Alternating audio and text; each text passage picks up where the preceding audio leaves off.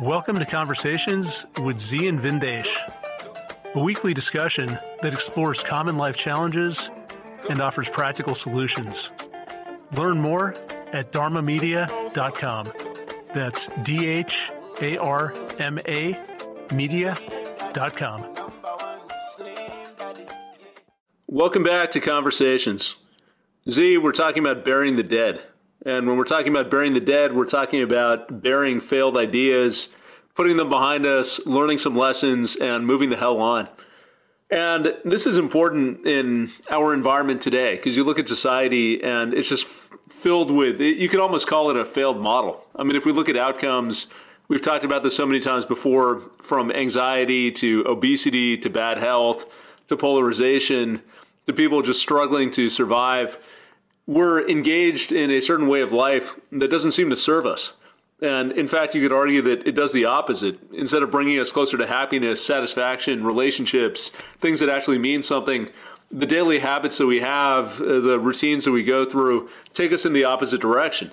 So, a lot of the ideas that perhaps we've grown up with, that we've imbibed in the Western culture and the media, it's time to just put behind us and to say, you know what, it was a good try uh, maybe we did this for a while, maybe we were on the wrong path, but let's own up to our mistakes. Uh, maybe we were duped, like the investors in FTX, where you put all your money in this exchange and it disappears. Fine, let's learn our lesson, let's move on, do something else with our lives. But I think what happens a lot of times, as we've been talking about, it becomes very hard to put those ideas to rest.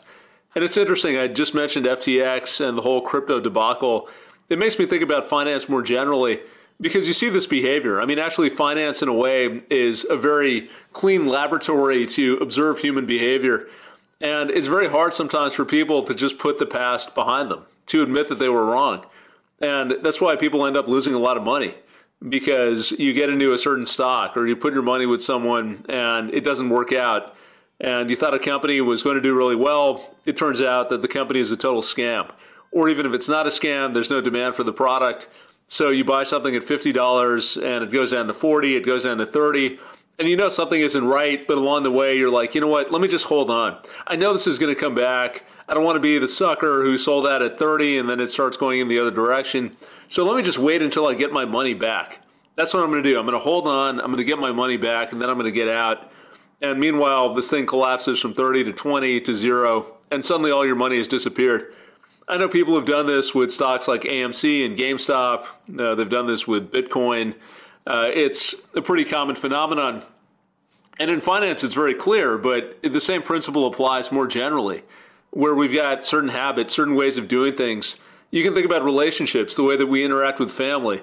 And maybe we go into certain discussions and we always come out arguing with the same people in our family about the same things and we think, okay, well, this time it's going to be different. This time they're going to see my point of view. Uh, they've got to be more mature. They've got to behave differently, but it never happens. And we fall into the same trap over and over. Or relationships. Uh, there are a lot of examples in today's day and age where people are just having trouble connecting with others, uh, finding relationships. And maybe it's because you keep on using dating apps instead of meeting people in real life.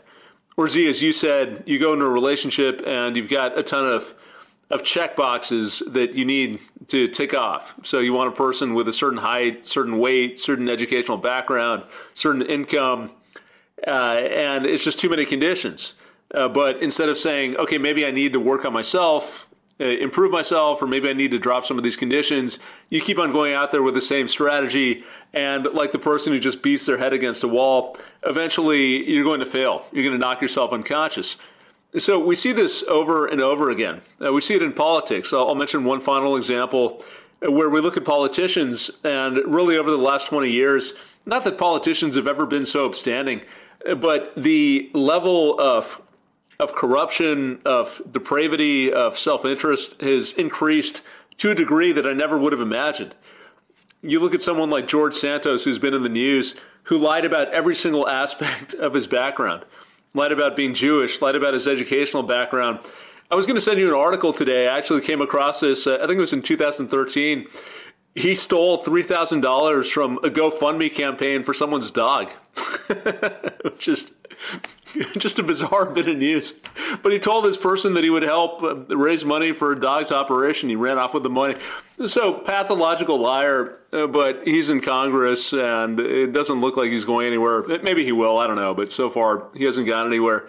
But we want to believe, right? We want to believe that the system works. We want to believe that politicians ultimately will do the right thing, or you've just got a few bad apples and it's not endemic. It's not a reflection on the system.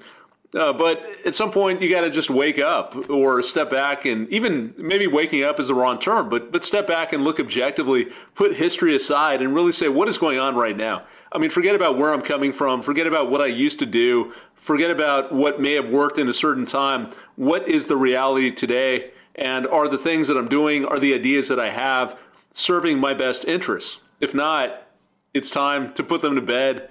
As we say, it's time to bury the dead. Uh, let's just get them out of the way, clear that path, move forward. Life will be a lot simpler. We'll feel better. We'll drop the anxiety. And as we've talked about, anxiety becomes a, a very big issue that sometimes takes over our entire life, uh, just dealing with all of these machinations in our mind. Uh, so, Zi, that's the, the territory that we're going to cover today. Why don't you kick us off? Just give us some examples. I mean, I gave you some thoughts. What are your thoughts on this concept of failed ideas? And really being able to bury the dead and move on. I like to cover it in a way that, for those of us who listen and opt outs, can really fashion it in their own minds the way they work with it. So we have funeral rituals. We have all sorts of mourning rituals in different cultures on how to lay the dead to rest so you can get on with your life. Whenever you have a death of any kind, um, and especially if you have a, a close attachment to that, it's very difficult. Grieving is very difficult because it's hard to see your world without that person, that idea of that person, the hopes, the projections on the future, the sentiments of the past. And so the grieving process can be uh, one of the most difficult process you go through in life.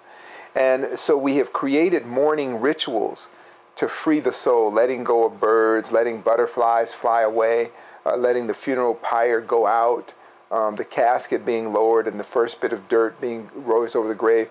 So there can be a sense of finality that allows you to begin and move on without that part of the your your idea about life.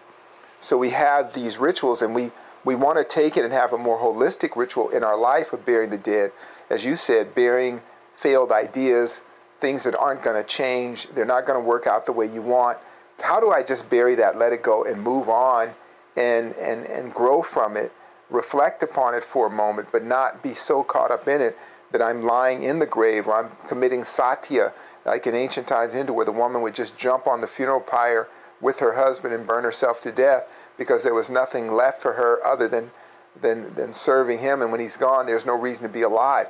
Well, if you still have a reason to be alive and a reason to face life, we have to learn how to do those personal rituals. You were talking about a few things, and I want to. I, I oftentimes reflect upon um, our our moment right now and what's going on in the world, which is.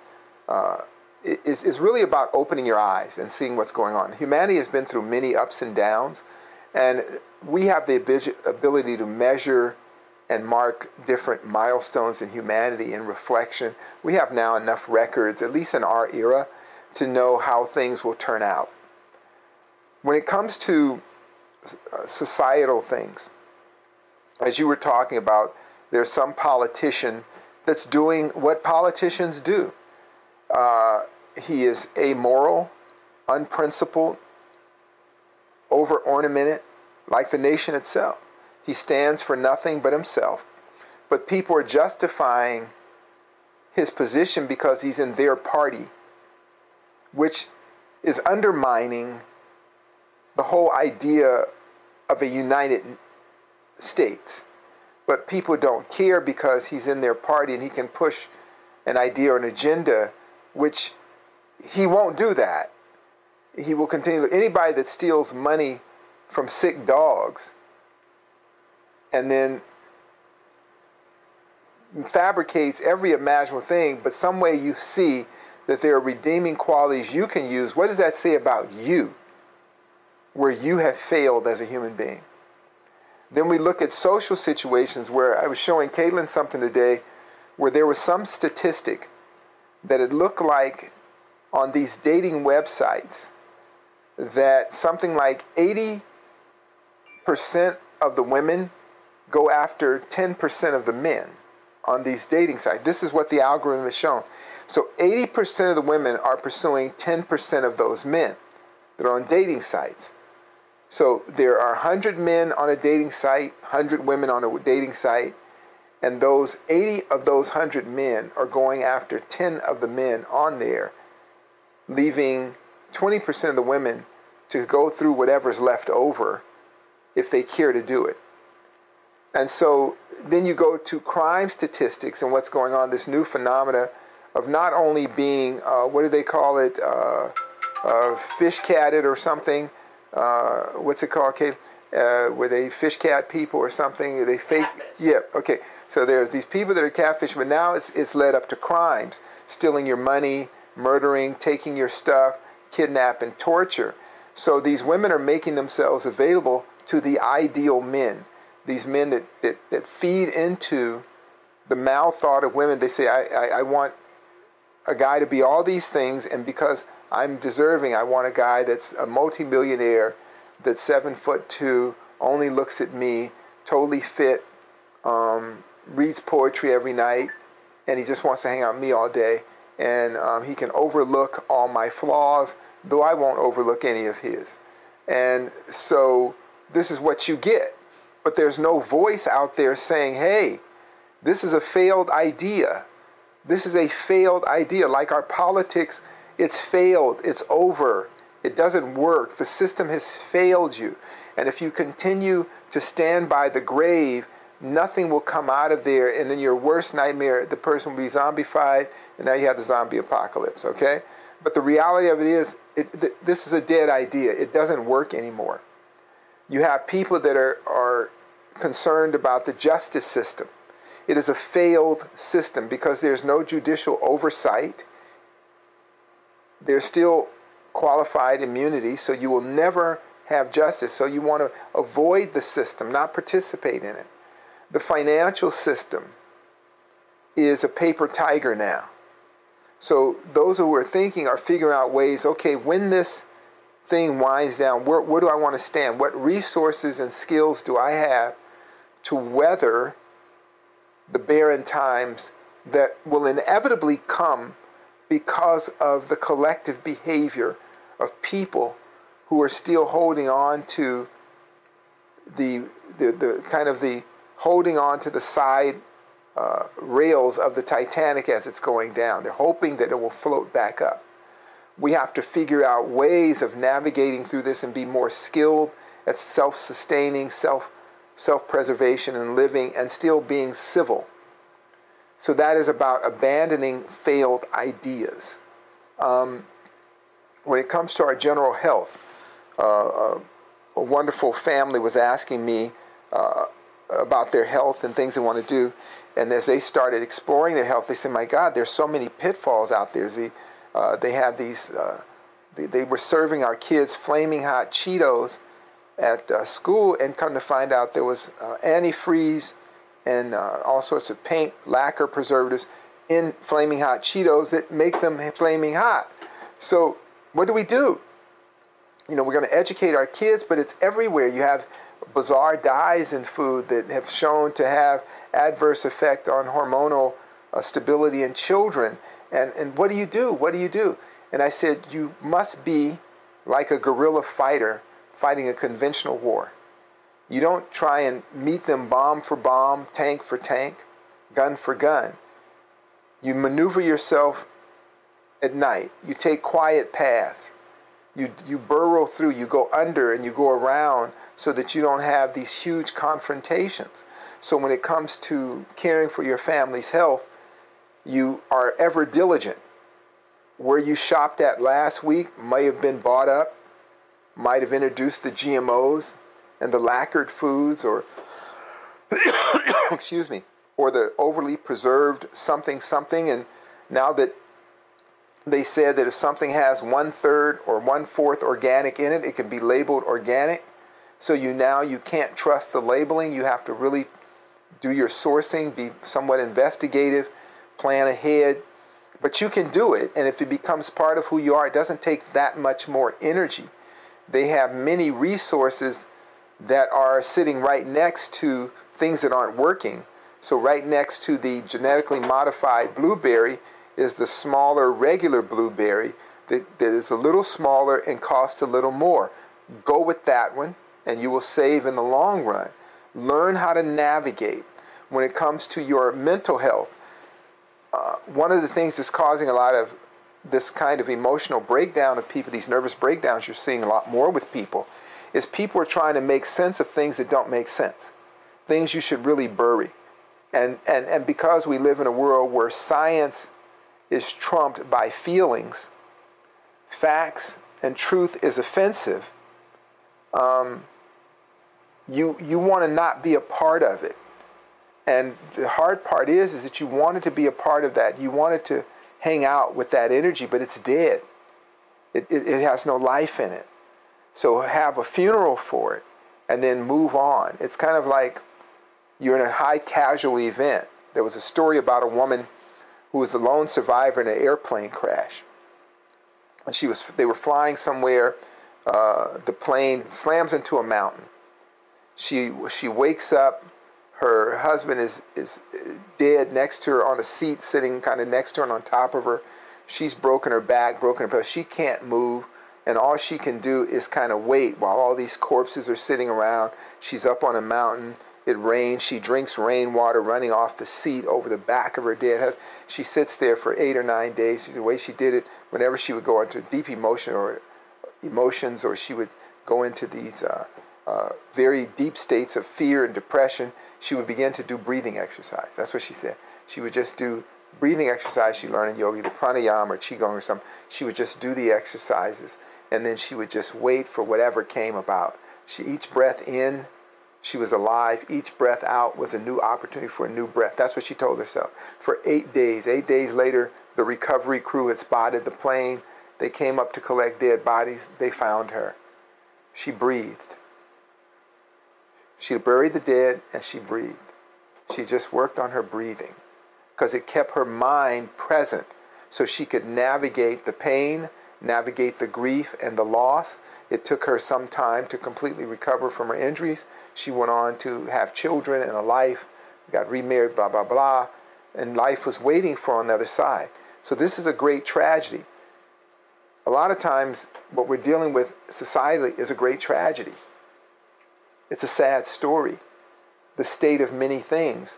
And when you look at some of the stuff during the, this, the rise of the machine and during the time of volatile consumerism, and so much is made plain, just like that politician is plainly a habitual sociopathic liar. Yet he has an audience of people that will justify his behavior, thinking it is the means to an end. It is a means to an end, the end of your ideas. That's what's the end of. You want to pull yourself out of that. Pull yourself out of the crowd. Pull yourself out of the herd and then navigate quietly around all of this by breathing, maintaining yourself. Take that breath that brings in clarity. Take that pause for a moment. I always say go back to gratitude. Think, thank God I'm okay, right? Like Caitlin is finally um, getting to a place where she's like, I treat my boyfriend well. She used to treat him like dirt. And then she realized when she started looking around and seeing the Tinder thing and all this, she said, "You know, I got it good. Actually, I got it better than good. I got a guy that loves me, cares about, and all he really wants me to do is act like I care."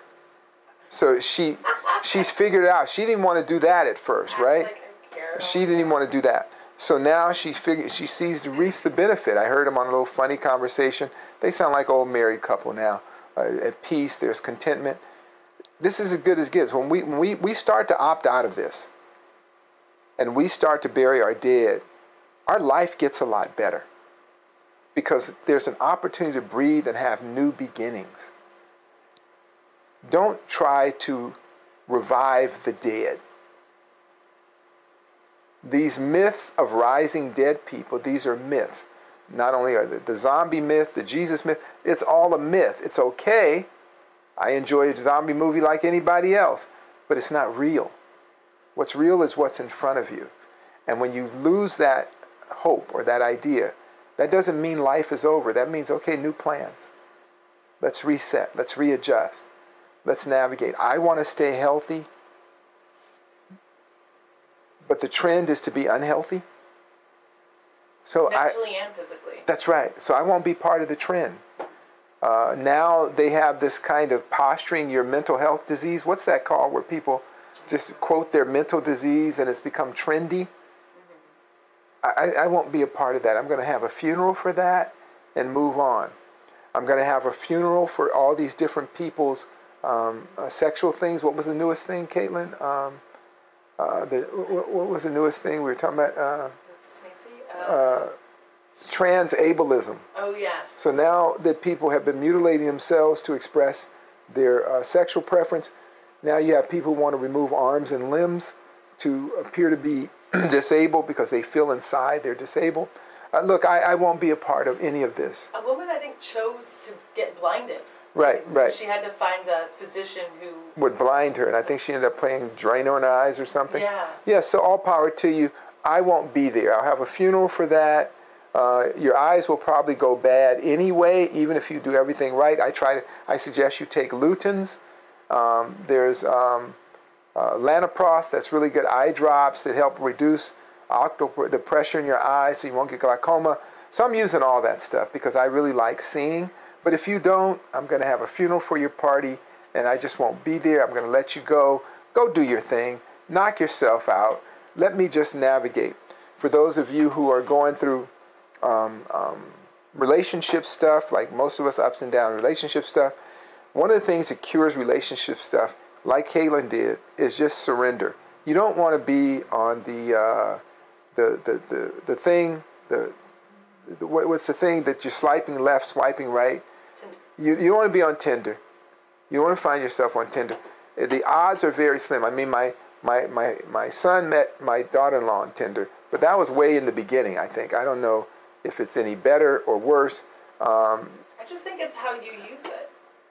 Yeah, but again, what, what's the, what the algorithm says is 80% of the women are going after 10% of the men on there. And the 10% of the men, uh, a lot of them are highly involved in criminal behavior, robbing, uh, doing weird stuff to these women, but they have filled out the checklist so that they get the women there. They do the checklist, right? Just right. And uh, I saw one, I guess was a real one, where the woman was asking, she said, Well, you didn't put your height on the Tinder thing. And he says, Oh, well, I'm 6'5. And he said, By the way, how much do you weigh? And she said, I find that insulting. It was okay for her to ask him the height, but he couldn't ask her her weight. Isn't that interesting? Let's just have a funeral for the madness and move on. Don't, don't stay there and hang out with the rotting corpse. Okay? Avoid politics. It's a rotting corpse. Right? And for those of you who are social justice warriors and want things right, pick one battle at a time, see what you're up against, and deal with that for those people who are looking for uh, the whole you know, police reforms and all that kind of stuff, uh, it, it, will not come unless there's a catastrophic event in this country. Until you get judicial reform, uh, you have some kind of you have no judicial oversight, and you have qualified immunity. So things are going to just keep getting worse and worse until you figure out a way to bury that idea that it's going to change and find other ways to live uh, find yourself with a less frequency of encounter with all this kind of mad. Try to stay out of the legal system as much as you can. Uh, parking, just anything you can avoid. It's a failed thing, and anything that draws you in, you will stink of the rot of that corpse. You follow what I'm saying, Vin? Yeah, you certainly don't want to be around a rotting corpse. I, I love that visual because it just feels so appropriate that uh, that's how we live. We just carry these these corpses around, and uh, they're a burden. They're heavy. They stink. Uh, they got flies. They make us miserable, but we can't let them go for whatever reason. We, we can't leave them behind. Uh, so I just find that that's so fitting Uh, what's interesting to me is why we have such trouble letting this stuff go. And I'll give you an example. So the other day I was talking to someone who was a journalist for a long time. And this person was telling me that, oh, you got to go and read the Twitter files. So you know about the Twitter files, the stuff that Elon Musk released about how.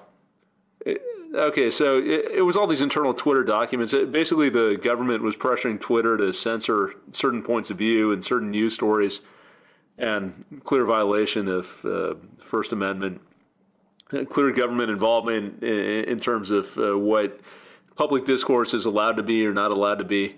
And so there were 140 pages of these Twitter files that came out. And uh, this person I was talking to was just shocked about this and was saying, Yeah, if you care about the First Amendment, you care about the Constitution, you got to read this thing. It's incredible. And I was thinking to myself, you know, on the one hand, it isn't incredible, but on the other hand, why is this surprising? I mean, we've known this for such a long time. Like this idea about free speech itself it should have been buried a long time ago. We went through this after the Iraq War. We've gone through this. Uh, there's that book that David Nick recommended. Uh, I'm, I'm, forgetting who wrote it, the famous person, but uh, I can't remember the name for some reason. But th- this was written 20 years ago, and and they basically talk about how news is a big business, and it's co-opted by the government. It's co-opted by the wealthy. Uh, and if you have newspapers who are looking to put out articles and that's their business, they're going to go to the sources which make their lives easy, where they don't have to invest a lot of time doing reporting and gathering information that no one else has. If you go to the Pentagon and they give you a nice press kit with all the information and all the quotes and they do their job for you, then all you got to do is put that down and you can cite some authoritative source and then you're done. Uh, so it, that problem has been around forever. Uh, and of course, it's gotten worse in the age of social media. I've seen it at a personal level. Certain things that I put online are, are, are shut down you get strikes on YouTube. There's certain things in Facebook that you're just not allowed to talk about.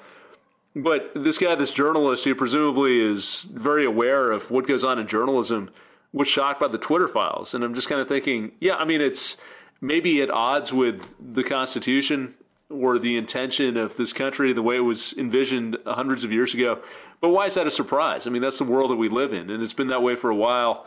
Uh, we can look at Russia, Ukraine. We've talked about this before, Zi, where you've had people who were fired from their jobs because they would not come out and condemn Russia, which I find even more egregious. Uh, there, it's not even about what you're allowed to say, it's what you have to say. Uh, so we're forcing you to say something, we're forcing you to take a point of view. Otherwise, we're kicking you out of your position. Uh, you can't be a, a ballerina or a conductor anymore. Uh, so I don't know why. Uh, that's just an example, but I think it's an example of what you're talking about. You know, this ideal that we have that free press is so important, that uh, this country is not like China or Russia or Iran, where dissenting points of view are censored. No, we're different, we're special. And maybe in some ways we are. I'm not saying that it's exactly the same system, uh, but for some reason we're reluctant to give up on that idea.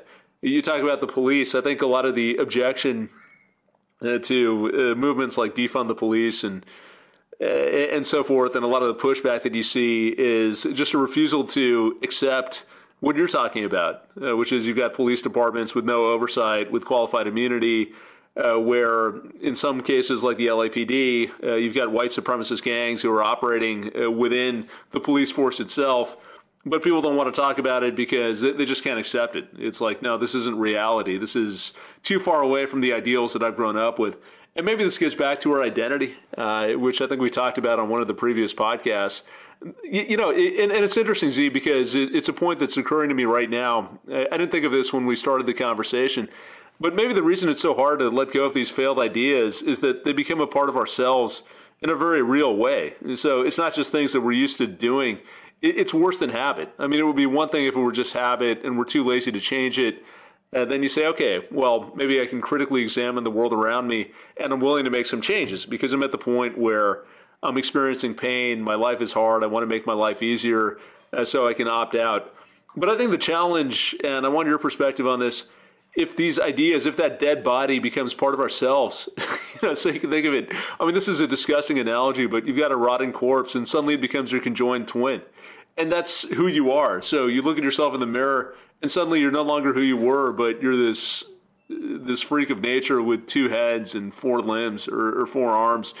And even though you smell all the time, that's who you are, and you're comfortable with that, and you feel good about that. And you've joined a group of other people who look just like you, and you're proud of who you are, and you, you get a lot of personal satisfaction from being in this group, holding on to these ideas, operating in a certain way. That becomes very hard to get rid of. It's like cutting off a body part. You know, it's uh, how do you amputate part of your soul uh, if your identity is crafted from ideas, even if those ideas have failed. Uh, so maybe that's where some of the challenge comes in. But give me your thoughts on that. Well, Vin, there, there's a lot to unravel from that. And, and again, I, I love the visual. And when you think about our attachments, have a lot to do with what we're, where we're going with this is when we talked about grieving um, anybody who's been through grief, we just had Smacy, and you know his daughter was murdered. He was on the uh, Forgiveness Project, and he's just my hero. The fact that he could move forward from that. I don't like to say move on, but he could move forward from that. And he showed me the brochure, the 25th anniversary of his organization. It took a lot not to um, shed a tear, having remembered his daughter, remember him, but he, him, it, it's changed my relationship with him because he's he, he buried his dead. He moved on. He even went so far as to truly forgive the young man that murdered his daughter. Um, but when we tie that into social modeling and being well and getting through this, we have to know what we have to cut off. It's like you, you made the metaphor of, of, carrying around a parasitic Siamese twin that one is dead, one is living, and it's draining the life of the other. It's no different in physiology when you have gangrene. You have a limb that's gone bad. You have a necrotic limb. And there are people who want to save that limb and they don't want to lose that limb. And it requires blood, it requires energy, it requires all those things, but it's constantly draining you. Um, I remember when I worked in the music business, there was a guy in a group called Two Live Crew, and he had damaged his arm, and he didn't want to get his arm cut off, so he would just carry this dead limb in a sling. And over the years, it became more and more atrophied, and I'm going to find out that it may have ended up being the cause of his death later on because he didn't want to let it go. He didn't want to be the one armed guy. And for that reason, he kept that limb until it consumed his whole body. And if you look at some of the old Two Live Crew videos, you'll see him walking around with a cast on his arm uh, and the limb was just there. It was nerve damage. It, it was, it was. Dry, oh, every time you saw him, it was skinnier. It was dried up. It had no nerve sensation in it, but it was still draining his body. And that's what we do when we lock ourselves into failed notions about whatever it is. The remedy is to is again have your own mourning ritual, whatever that funeral is be it a, a, day, a week, or whatever, but be able to move forward. Um, we have a lot of things going on in our society that are measurably damaging our health, our mental health, our physical health. Let us look at it, memorialize it as a lesson, and move forward. And the ancients gave us the tool gratitude for what you have, gratitude for what you had, and move forward and let it be something that launches you into a higher vibration. Subjugate the ego like you might have put a lot into it and it didn't work out. You put so much into it and it didn't work out.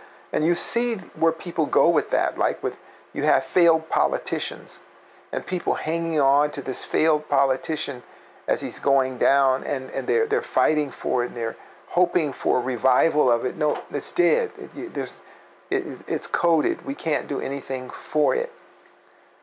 But in the areas where you can do something from, you don't want to carry that parasite around that's draining you. If you let it go, then that offers new growth, new opportunity. I think that every day we have an opportunity to flourish. Yet every day, too, we have an opportunity to hold on to failed ideas that drain any new thing from us. That applies to everything, especially when you attach sentimental value to it. And since sentimental value cannot be um, it, it, it can't be measured in a, in a normal kind of transactional metric, it is very problematic. You got to let things go. It's like a hoarder, you know, that, that hoard. And then I'll use myself every weekend. I think I'm going to go through my closet and throw away half my stuff. And every weekend that goes by that I do it, I can see the clutter. I see it. I feel it. And it drains your ideas. It drains your alertness. It drains your lucidity. It drains your creativity. So let's start packing those bags and throwing them away. And then what happens with sentiment is really sentiment is really weird because you have a good plan. You say, I'm going to just throw this out. Then you say, but it's such nice stuff. I want to give it to somebody because I want to see their smile. I want to see their face. I want to, what do you call it? Um, I, I want a social posture to show that I'm a giving good person. I want people to acknowledge that I gave this away. So that becomes another attachment. So let that go so that you can breathe, so that there can be fresh air moving through your mind and through the ideas in your mind. You can have a freshness.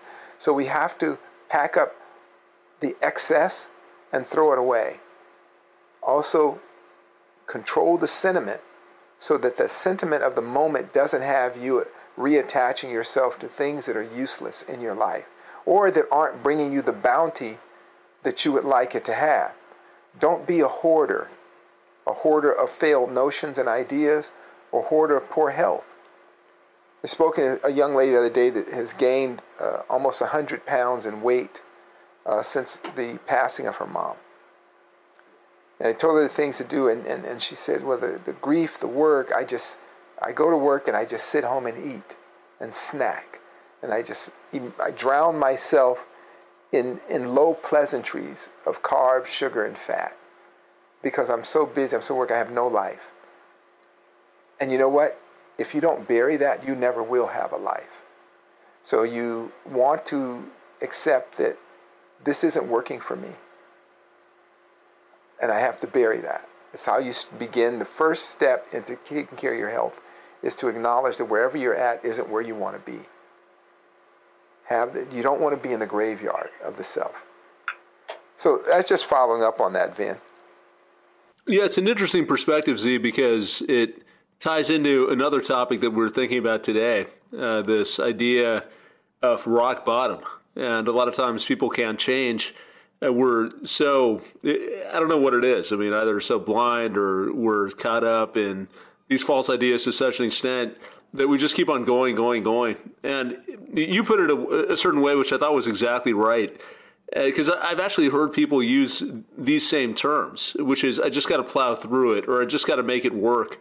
If I try hard enough, I can turn things around. If enough time passes, things are going to get better. I've seen people, uh, family, friends, in these types of situations uh, where they're doing things, whether it's relationships or it's uh, just behaviors, the way they manage their lives it's not working, uh, but they feel like I just got to give it some more effort. I just got to keep on trying, and I'll get through this. In fact, for a lot of my life, I felt that way. I didn't even realize I was doing this, but in retrospect, I was. Uh, where I didn't feel good about myself, and every time I would talk to people about it, the answer would always be, "Well, you just have to." Uh, it's kind of like, "What's wrong with you? Why aren't you able to appreciate what you have?" And it, not that I wasn't grateful, but I just wasn't living in the right way and finally had to make some change.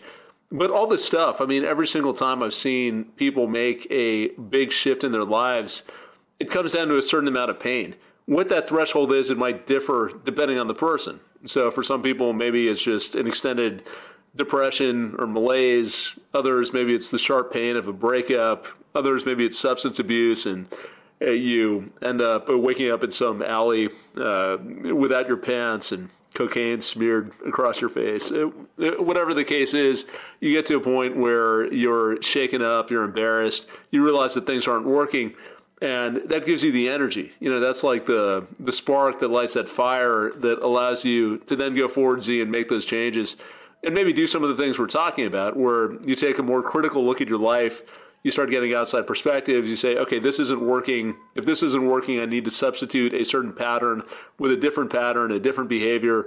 Let me educate myself. Uh, let me go through whatever ritual I need to do to bury the dead and move forward. But as we talked about offline, a lot of times it takes hitting that point of rock bottom uh, before you're actually willing to make that change. And in fact, we've also talked in different contexts about how if you're not at that point, if you're not willing to make a change, it doesn't matter what anyone else does. There's almost no point talking to someone and trying to talk them into changing their ideas, uh, to burying these false narratives, unless they're looking for guidance and they're looking to make a change, uh, because otherwise you, you get defensiveness. You get people who are pissed off. The whole thing erupts. It ends up in conflict. Nothing changes. Everyone's worse off. So uh, help our audience understand that, um, you know, because we've talked about some of these rituals around burying the dead, but what is the role of pain and the role of hitting rock bottom? And maybe is there a way to mitigate that? You know, if we think about techniques uh, to get rid of these failed ideas, what can we do so we do it as efficiently as possible without getting to a point where we're just totally in despair and we're throwing our hands up and and praying for salvation? Well, one of the things about pain and hitting rock bottom is it brings you into the moment. And in that moment, it's just like uh, re- rituals of, of pain and se- religious self flagellation, even the old rituals of baptism, uh, which were conditioning the person to religion, where you take a person to the edge of drowning. And when the person comes up for air, they said, Now do you believe in God? Of course, I, I can breathe. I, I just needed air and they associate drowning and that pain within a religious awakening, finding a moment, and then they, the reward is the air. So you think about where that ritual came from. You think about the drug addict or whoever who it isn't the uh, the despair they caused others or the suffering or the criminality of it. It is when they could no longer endure themselves but there was a there was a there was a light in them that wanted to live. I want to live. But they couldn't feel that. They couldn't sense that light. They couldn't see the glow of it until the darkness was all around them, till death was right there. There are people who are just not on the right track in their life. And eventually they find themselves overwhelmed, exhausted, disconnected. Uh, they, they don't feel numb, they feel the pain of living. And they'll say, I can't do this anymore. It's like the old thing when you were a kid and somebody would twist your arm. You say, you, I'm going to twist your arm until you say uncle. Most people would say uncle. Um, they had to go on and break my arm, but I, I'm just that guy. But there's a, there's a role that plays where when we find ourselves completely in the moment, and the next moment that we intentionally make has to be better than the last moment that we acknowledged. And the hindrance to that is oftentimes when people have safety nets. That's why when you see people who have a lot of support, they often go further and further into the abyss of making bad decisions because someone catches them every which way they are. When you read the forensics on criminality, you see that criminals who have a loving family or a lot of support tend to do more harm than someone who has nothing. It's, regrettably, that's a reality of it, especially when it comes to very socially disturbed crimes, disturbing crimes the people that do the worst tend to have the most support. Not what you would think, someone with no support. The people often with no support have little. They're really working and they show gratitude for everything they have. And so it's, it's a hard one. So when we hit rock bottom, pain awakens us, not comfort. Comfort puts us to sleep, pain puts us to work. You follow me, Vin? Yeah, it's interesting uh, this concept of being present and this idea of having support, because uh, we don't want to advocate, or at least I wouldn't. I don't know what your view is, but it, usually you would think of having a loving family, having resources, financial resources around, as a good thing. But you're right; it can lead you to a path where you don't have to take ownership of yourself, and where you know that someone else is going to bail you out, and maybe you start expecting that So, if we summarize some of the things that we've talked about, because I want to turn this into practical tools that people can use, uh, how do we actually go about burying the dead? The, the first thing is we want to recognize what the failed ideas are. And to do that, we've got to be present. And part of that process of being present is about taking ownership. So, whether we're struggling to survive and we're on our own, or we happen to have a lot of resources, in either case, it's a different mindset. We're not expecting that someone else is going to take care of us. Uh, we're, we're not expecting that the world is going to bail us out, the system is going to bail us out, things are just going to work out because they've worked out. It, it's really an idea that we are responsible for ourselves in this world, for the choices we make, for our own survival, for uh, being able to deal with whatever hardships life throws our way. And with that mindset, maybe that's what brings us to the present. So once we're in that moment, we're accountable, we're aware of what's going on, then we can say, okay, now I can take an objective look at what's working, what's not working, and I can go through my rituals of burying the dead. And those rituals, uh, talk us through those rituals, because we alluded to them earlier, but I think this is the final piece uh, of this process, and it, it, to me, may, maybe the most important, where we want to be able to, to put this behind us in certain cultures, as you mentioned, there's a grieving period. Uh, so if you lose someone who's very close to you, maybe you grieve for a week or you grieve for a month, and then after that, you got to move on with your life. Uh, I was having a discussion with my wife today. We were talking about uh, someone very close to us, and she was saying they've just got to accept. They've just got to accept what is and move on because uh, they keep on fighting reality, and that leads to more and more pain.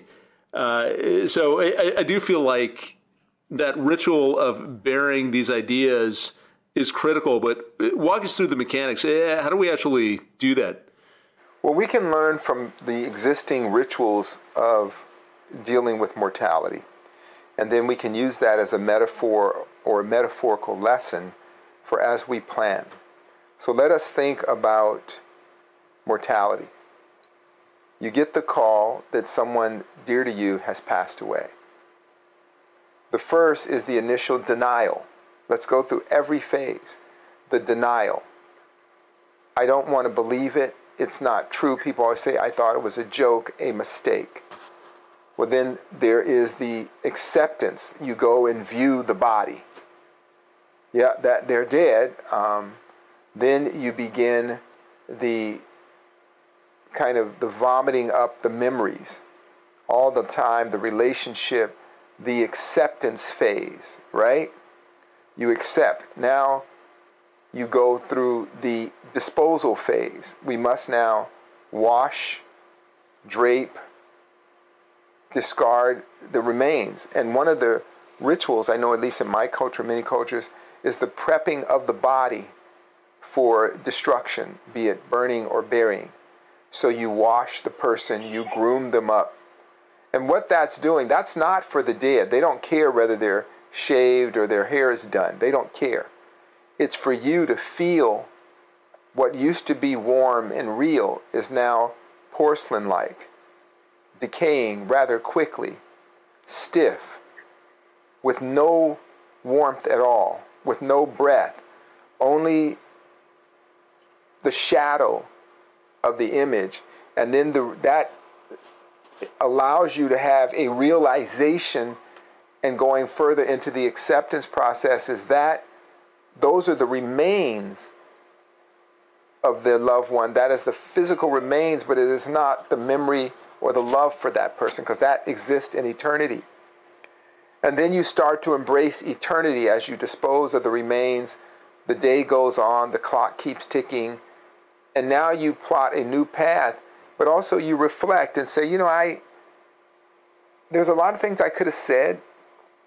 There's a lot of paperwork we could have done. There was a lot of things we could have said. I'm going to do that in the future. When I move forward, I'm going to do whatever I didn't do here. I'm going to learn from that. Hopefully, that's a holistic way of dealing with it.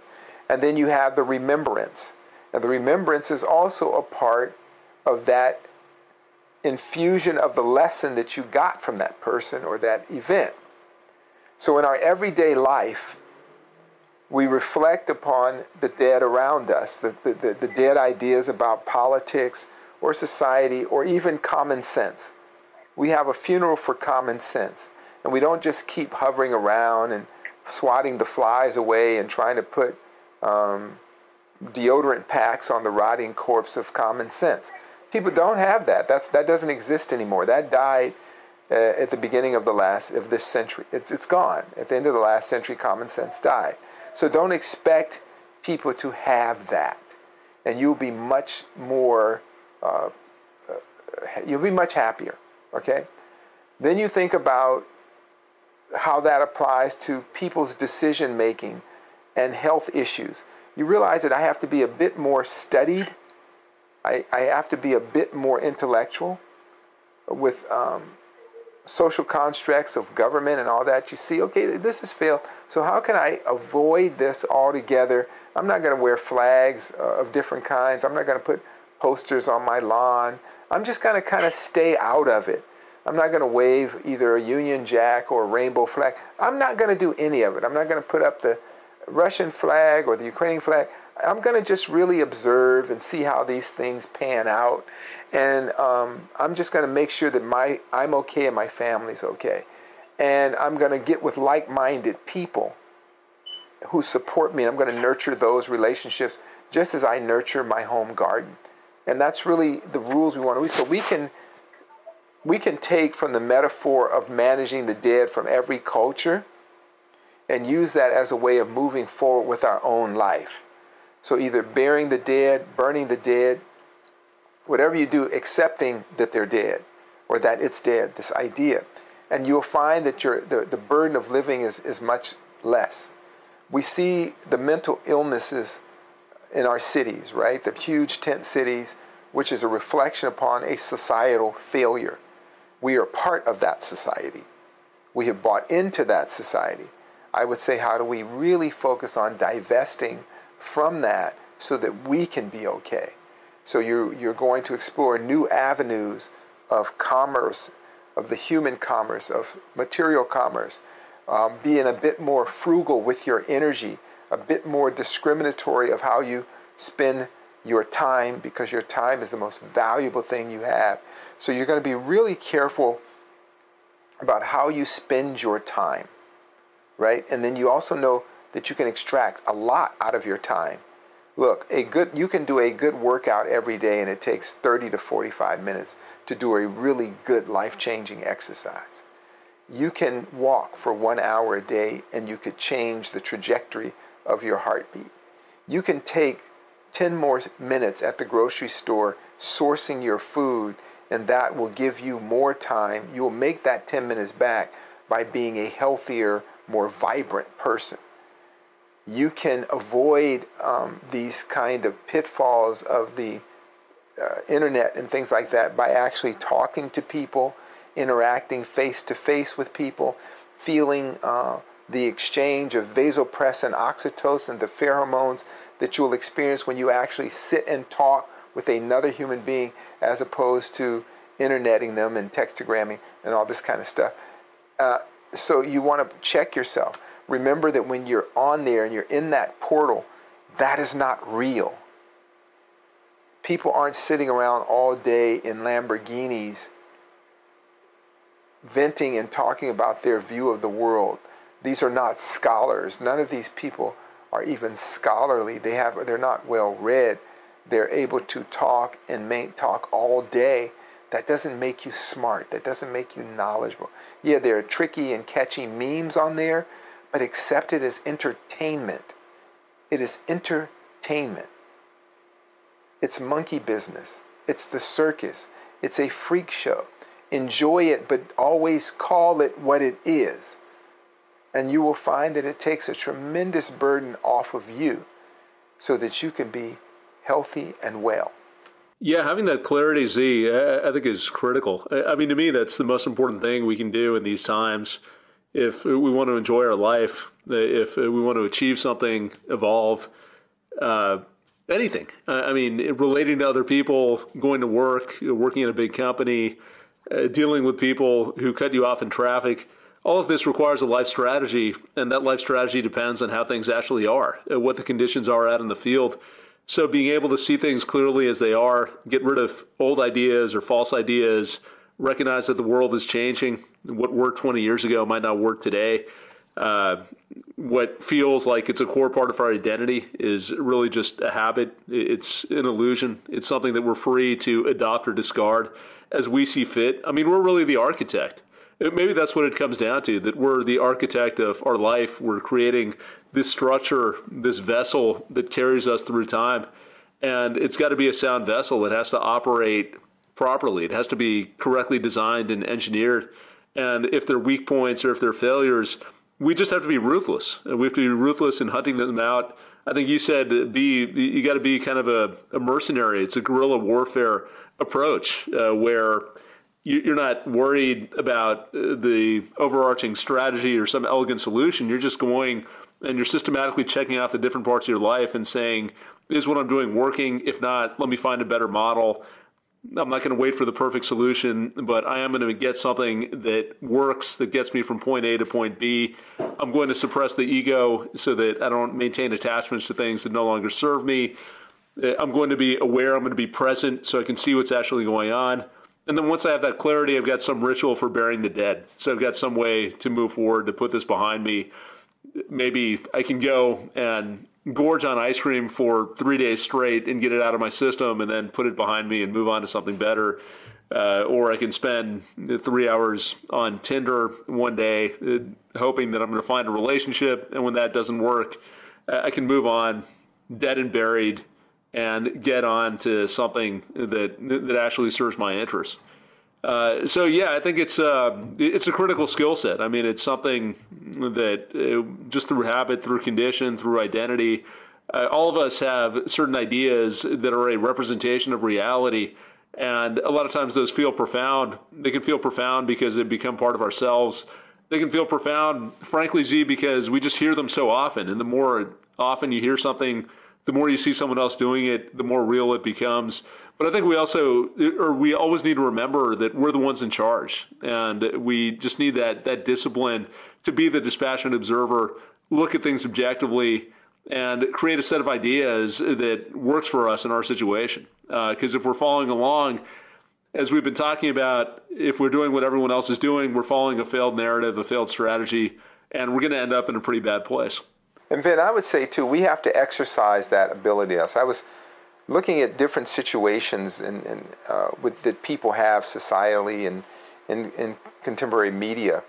And I was thinking about there was flooding somewhere, and there was a tragic story here in LA where there was some flooding, and a woman tried to go through a flooded area in her car. The waters rose. She had her little boy in the car. The water was up to the windows, and she got the little boy out. They were stuck. The car had went into hydrolock when, when you submerge the engine. And she's trying to get in there. The water's going, the rain's coming, and she pulls her little boy out of the car and she loses her child. He gets washed away. I don't know if they found his body yet. And it's devastating. You want to learn from those experiences.